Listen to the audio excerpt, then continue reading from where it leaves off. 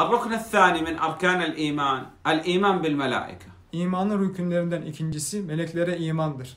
نؤمن بأنهم عالم غيب غابوا عنا لا نراهم Onların bizden onların gayb alemi olduğuna iman ederiz. Yani görme onları görmediğimize iman ederiz. خلقهم الله من نور Onları Allah nurdan yaratmıştır. يطيعون الله ولا يعصونه Onlar Allah'a itaat ederler ve hiçbir zaman Allah'a isyan etmezler. لهم أرواح Onların birer ruhları vardır. وأجساد onlar aynı zamanda cisimleri, bedenleri vardır. Ve ukul. Aynı zamanda akılları vardır. Ve kulub.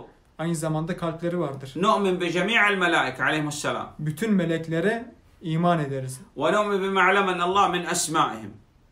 Ve aynı zamanda Allah'ın meleklere öğrettiği isimlere de iman ederiz. Mesela Cibril, Mikail, İsrafil.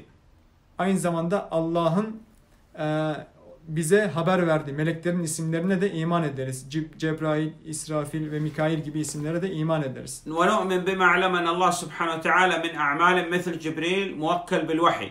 Aynı zamanda Allah'ın onları görevlendirdiği amellere de e, iman ederiz. Mesela Cibril aleyhisselam gibi o Allah subhanahu ve teala onu vahiy ile görevlendirmiştir. Naam.